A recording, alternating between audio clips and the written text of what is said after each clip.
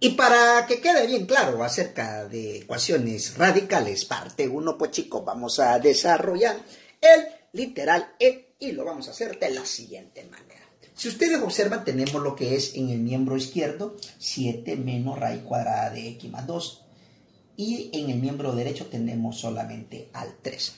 ¿Qué le parece si agrupamos solamente los números en un solo miembro y, y lo que es el radical en un solo miembro? ¿Cómo? De la siguiente manera. Bajamos el 7.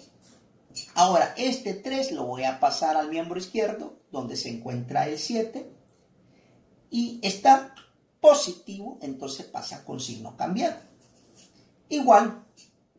Y el radical, en este caso, lo que es la raíz cuadrada de x más 2, está negativo, entonces lo voy a pasar al otro miembro y pasa con signo cambiado. O sea, va a quedar positivo raíz cuadrada de x más 2.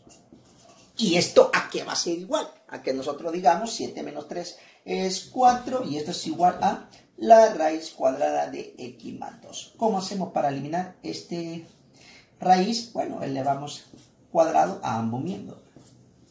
Eliminamos el cuadrado con la raíz y me queda entonces x más 2. ¿Y cuánto es 4 al cuadrado? Eso sería igual a 4 por 4, 16. Por lo tanto, para despejar x, ya usted ya sabe de que este está positivo, pasa negativo, entonces me queda 16 menos 2 y esto es igual a x. ¿Cuánto es 16 menos 2? Ah, 16 menos 2 prácticamente le va a dar ¿cuánto?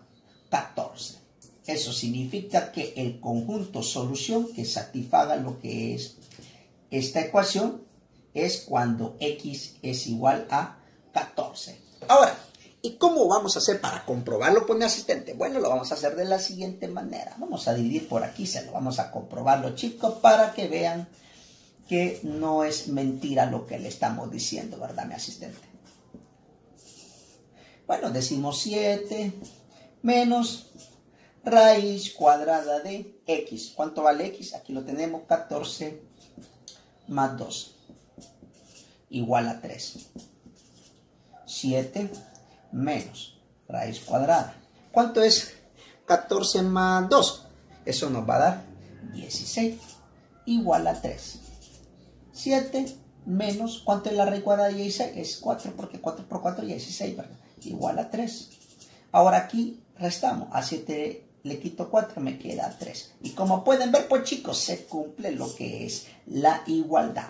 Por esa razón, el conjunto solución del literal E es cuando x sea igual a 14. Bueno, pues si te gustó el video, dale like y compártelo. Y si todavía no estás suscrito a mi canal de YouTube, te invito a que te suscribas. Dios te bendiga y buena suerte con tus ejercicios. Chao.